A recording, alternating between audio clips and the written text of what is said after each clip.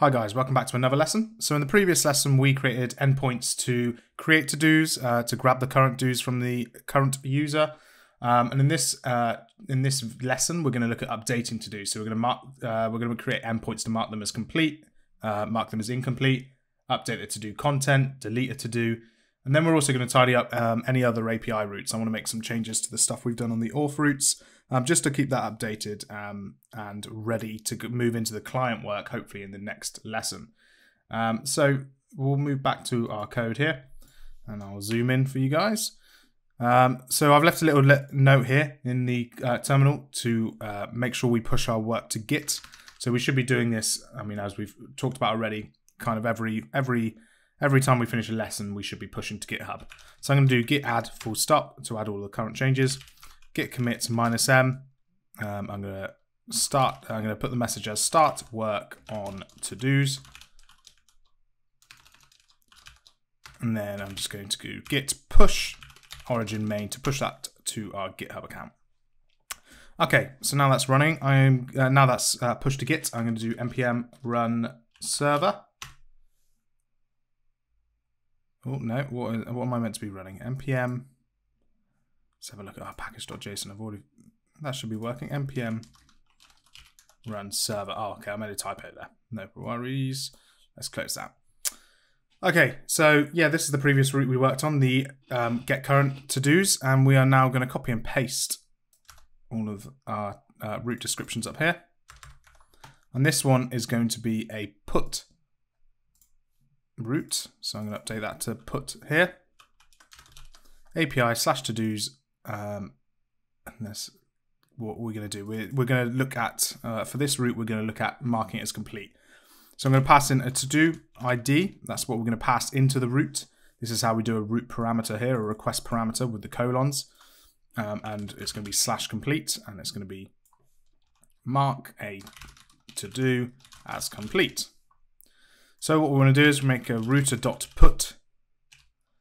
Inside our quotes, we're going to do slash colon to do ID, and that's again how what like I just said, it's how we do um, request parameters and complete. So what we're going to do is we in our um, HTTP request, we'll pass in to do ID in the parameter there.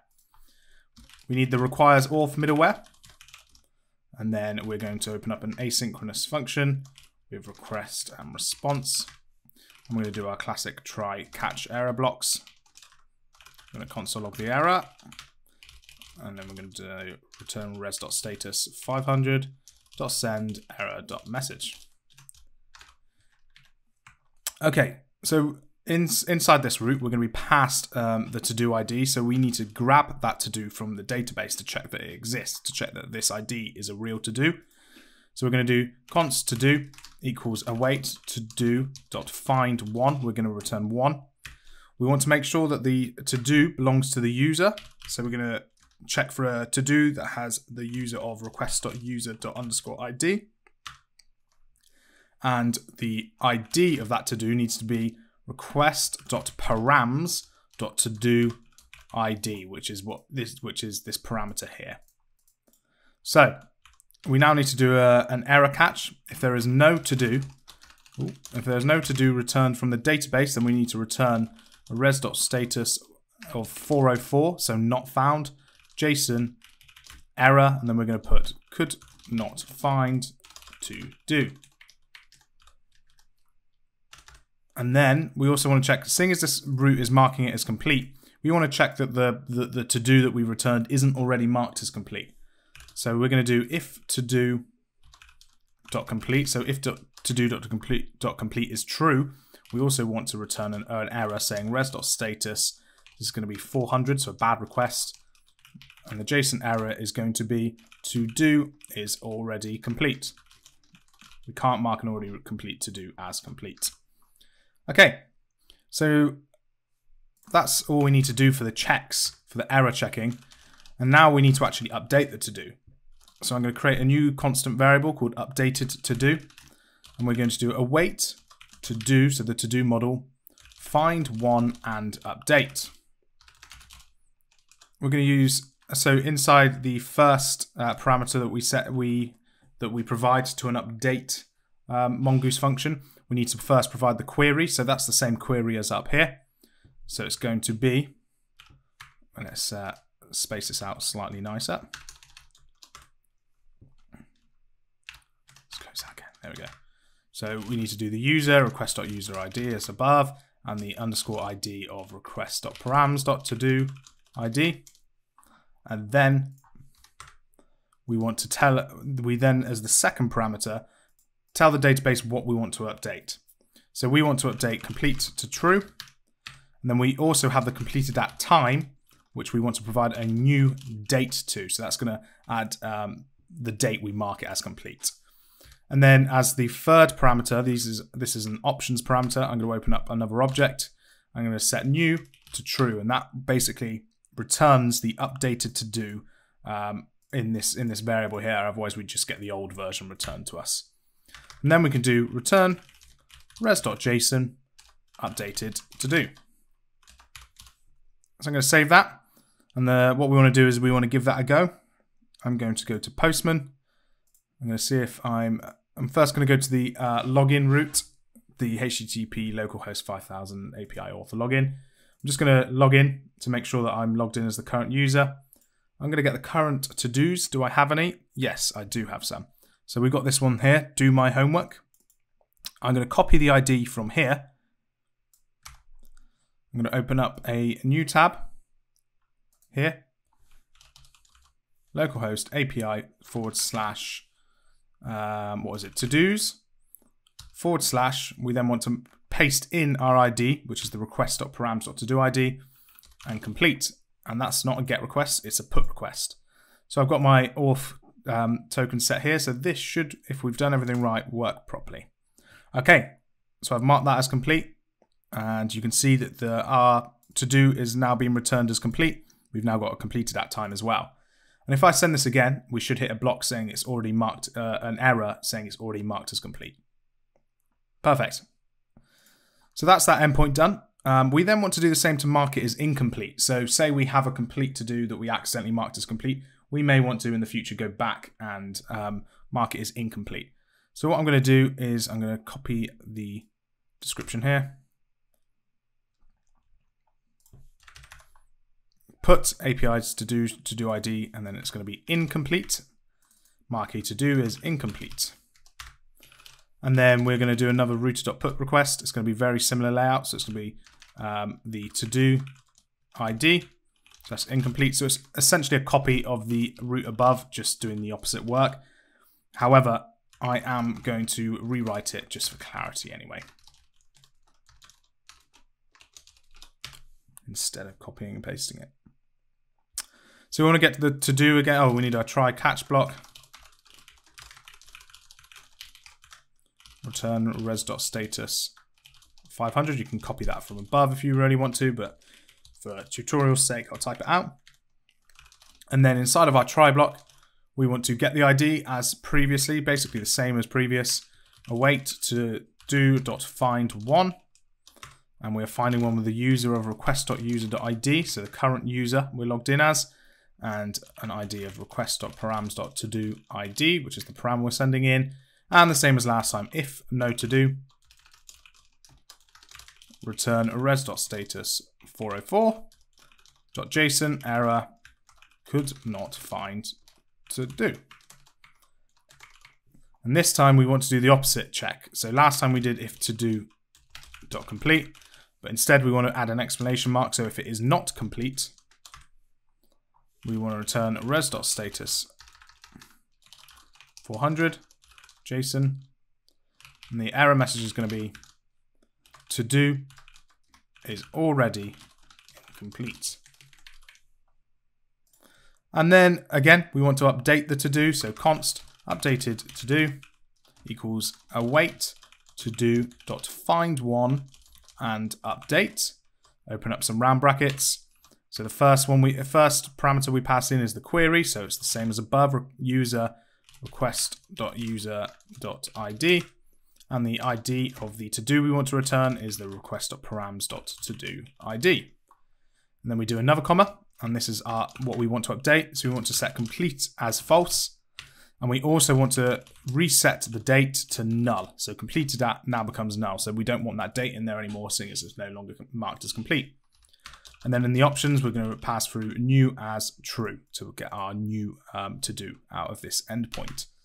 And then return res.json updated to do. Let's save that. And let's go back to Postman. And we are now going to change this from complete to incomplete. We send that request. You can now see that our to-do is come back as complete false and the completed at is null. If I do to slash complete again, we can see that it recompletes it for us, gets a new completed that timer. And let's again, one, one more time, mark it as incomplete. It, it marks it as incomplete again. And then if I send it again, it should say to do is already incomplete. So that's brilliant. That's all set up and ready to go. Now, the next thing we want to do is we want to have the ability to um, delete a um, to-do item. So I'm going to copy and paste the route descriptions up here. We're not, this time going to be making a delete request. And we're just going to do API slash to-do slash to-do ID. And it's going to be delete a to-do. Actually, instead of doing a delete, I'm instead going to do an update first. So we're going to update um, we're going to instead do a put request and we're going to update a to do. I forgot about updating the content of a to do. So let's not do the delete first. We'll do that last. So we're going to do a router.put request. It's going to be to slash to do ID, which is a request parameter. Need requires auth again. It's an async request response. And we need our try catch blocks.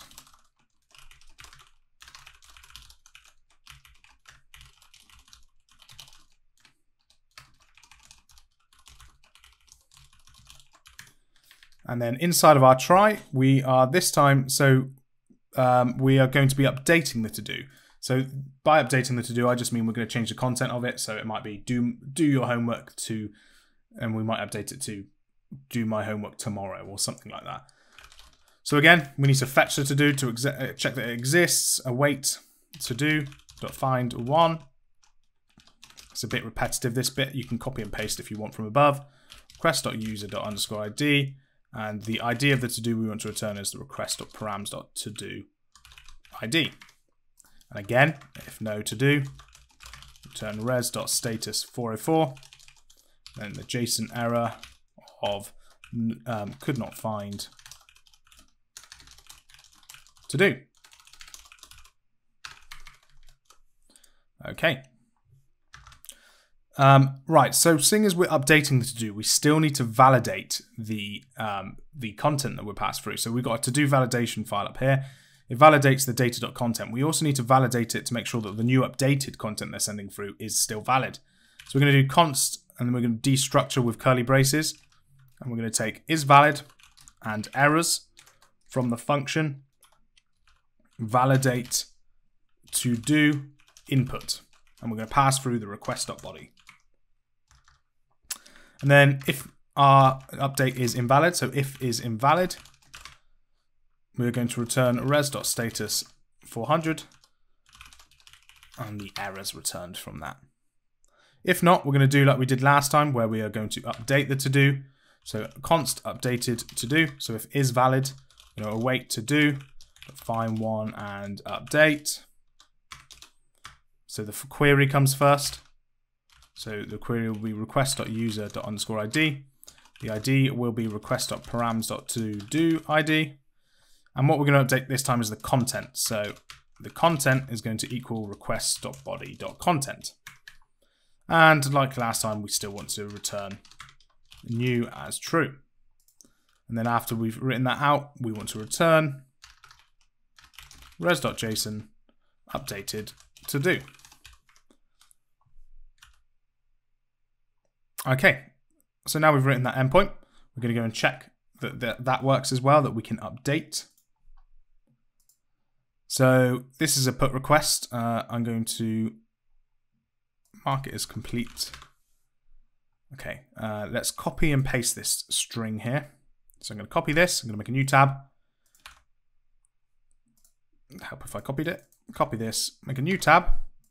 It's going to be a put request. And it's just going to be to the ID. We don't need the slash complete in the end. Then I go to the body tab. I'm going to go form encoded, and the new content is going to be wash the car. Click send. You can see that the content is now updated. Let's change it to wash the cars multiple and check that it updates again. Wash the cars multiple and it's updated again. So our update route now works, which is brilliant. So we've got our update route. We're going to copy and paste this again. And this time we are after the delete to do. Uh, we're after. We need to make an endpoint to delete the to dos. So delete a to do, and that endpoint is going to be um, to the same to the same endpoint as the put, but a delete instead. So router dot delete. It's going to be forward slash colon request. Oh, not request. To do ID. Need requires auth, and it's going to be an asynchronous function request response. And we need our try catch block.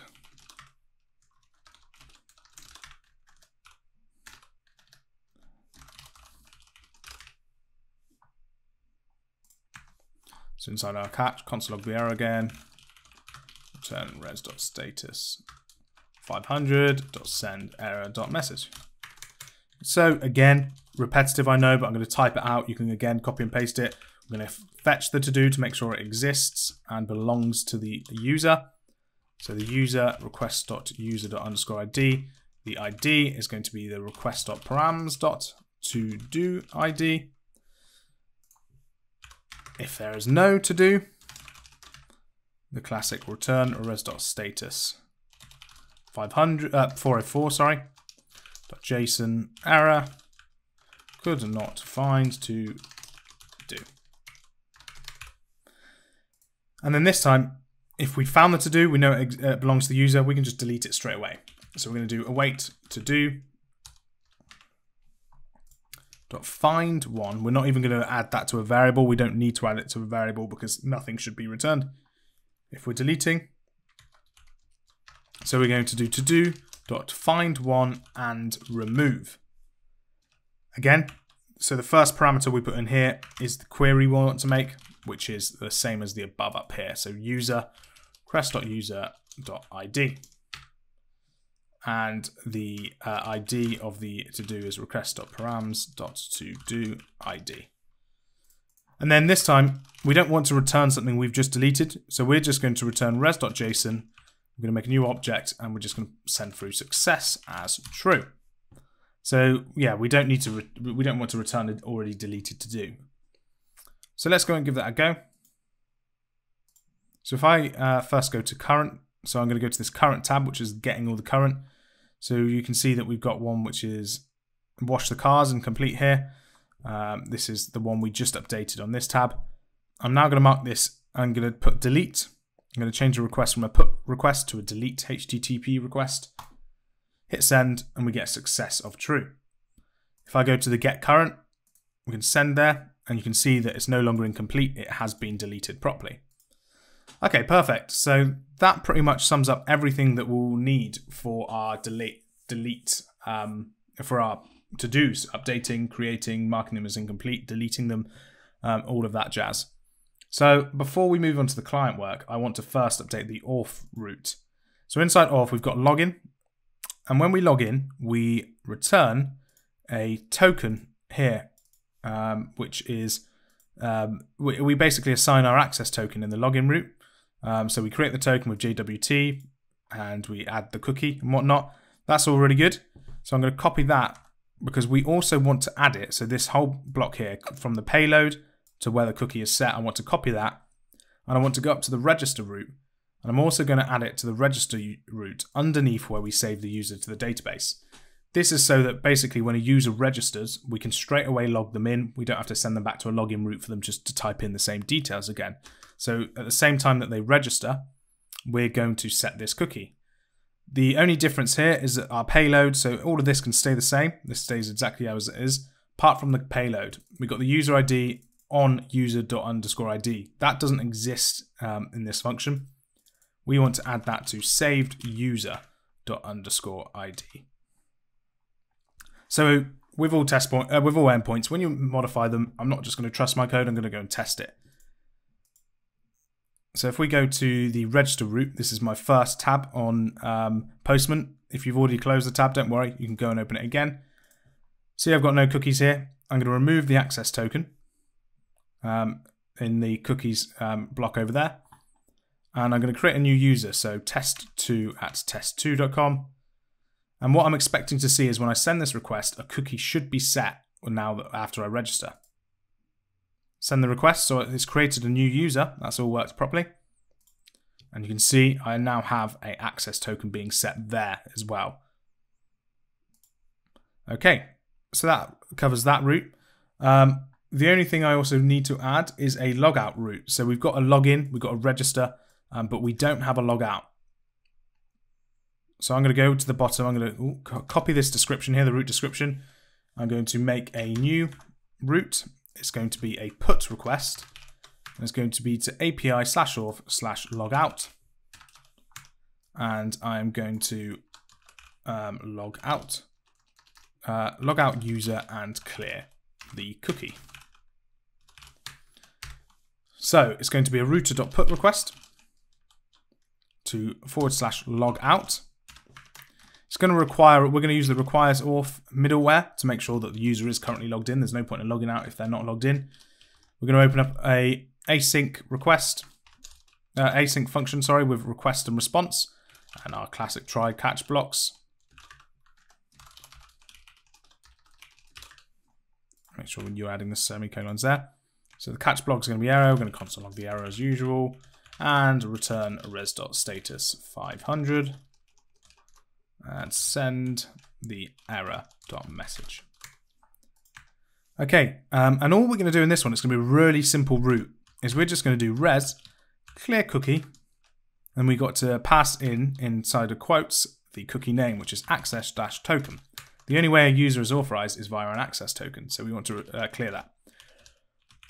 And then we're going to return res.json just success as true to let us know to let the um, to let the user know that their uh, that their um, request was successful. So let me go back to Postman. We can again test this route. So we have a cookie set here. If I open up a new tab, it's going to be a put request to HTTP localhost 5000 forward slash API forward slash auth forward slash logout. So let's double double check. We've got our cookie set there. I send. I've done. I've sent the request. You can now see that the uh, local the cookie is being removed. If I was to make a private request to current to dos, I'll get an unauthorized message because the cookie's been removed. So that's essentially what we want to do when we log out a user. And I now think I'm just having a check back over the code, but I think we are now covered on the majority uh, in pretty much all of the API endpoints um, for our uh, for our API. Um, that means we can now, in the next lessons, move on to the more exciting stuff and we can move on to the front end. We're going to be creating the React app um, and we can finally start getting some of the API routes uh, being used properly in our application. Um, the first bit will probably be a load of setup. We'll just set up some some styling. We'll um, be creating the React app with create. Uh, we'll be creating a React app with the Create React app library. Um, and then from there we'll we'll move on. We'll look at um, state management and, and everything else that we need. So thanks for watching this lessons, guy, guys, and I will catch you in the next one.